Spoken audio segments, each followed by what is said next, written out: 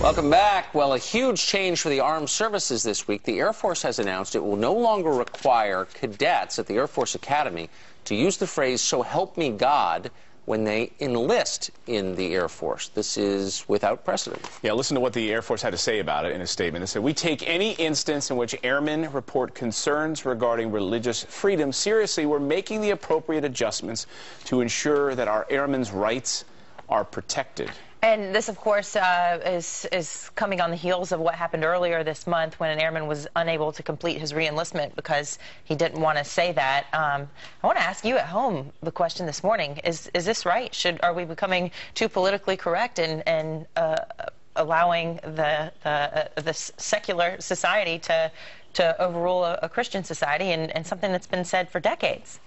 Decades, well, centuries, actually, not at the Air Force, which hasn't existed for more than 60 years, but uh, certainly in the, in the U.S. military. Yeah, the military is becoming incredibly politically correct.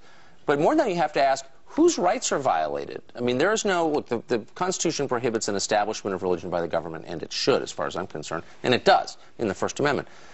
But is it really an establishment of a religion and so who is it hurting? Well, here's what the legal letter written to the Air Force had to say about this. It says the Establishment Clause specifically prohibits the government from requiring a non-believer to take an oath that affirms the existence of God. That was Monica Miller, the attorney uh, from that legal center, which sent the letter to the Air Force.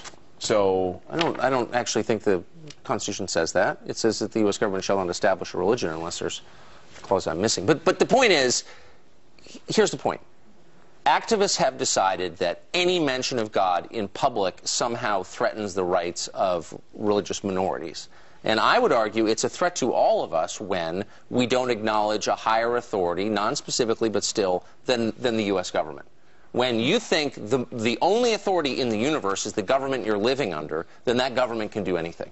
Mm. And that's why the founders insisted, and a lot of them weren't you know, Orthodox Christians, but they still insisted that we acknowledge a higher authority because it was a limit on the power of government. And without that, boy, people get radical. Right. So, many of them were deists, and many of, well, you know, God is scattered throughout much of our founding documents. Um, Richard Dawkins, an author, author of the book The God Delusion, um, says that he thinks that too many Americans right now are convinced, this is what he says, too many religious Americans are convinced that they can't trust people who don't subscribe to a faith. It's time for the secular to make themselves known. The incident betrays a subtext of intolerance and hostility towards secular people that is embedded in American culture and public institutions.